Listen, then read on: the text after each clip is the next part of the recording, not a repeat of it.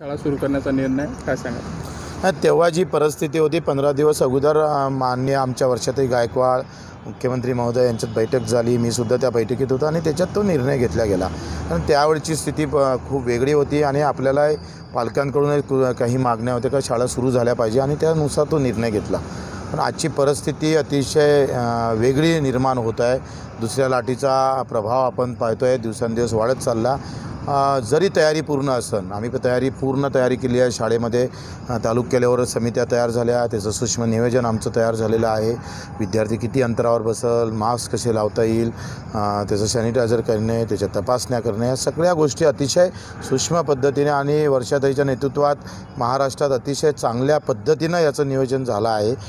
कदाचित मला असं वाटते माझं असं स्वतःचं मत आहे का उद्या जर लाट वाढली याचा प्रभाव वाढला तर शाळा ज्या चालू करण्याचा निर्णय आहे त्याचा पुनर्विचार करावा असं माझं व्यक्तिगत मत आहे.